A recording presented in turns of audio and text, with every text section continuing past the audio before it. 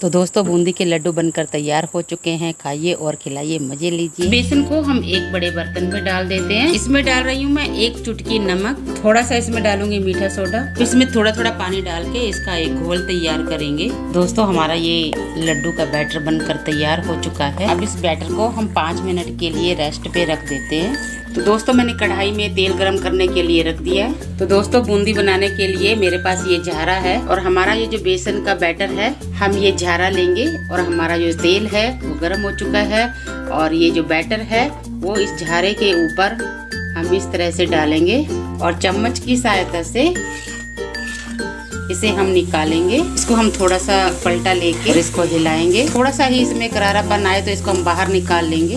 हमारे इस बूंदी को हम निकाल लेते हैं। अब हम यहाँ चाशनी बनाएँगे। एक कटोरी पानी ले लिया है मैंने।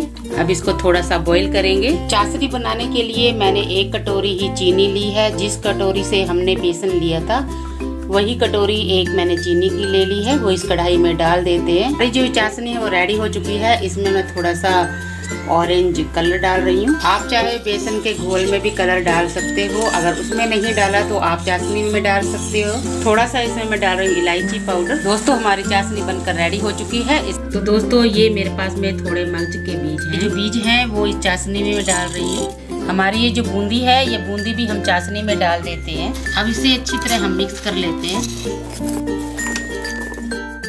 दोस्तों, ये जो हमारी बूंदी है, वो थोड़ी ठंडी हो चुकी है। इसमें हम थोड़ा सा नारियल का बुरादा डालेंगे। थोड़ा सा हाथों पे हम पानी लगाएँगे और थोड़ा सा बैटर उठाएँगे और इसको इस तरह से लड्डू की शेप देंगे। ये बैटर थोड़ा ठंडा हो जाए, उसी के बाद में हमें ये लड्डू बनाने हैं। देखिए, हमारा ये जो लड्डू है, तैयार हो चुका है। इसे अब हम एक थाली में डाल देते हैं।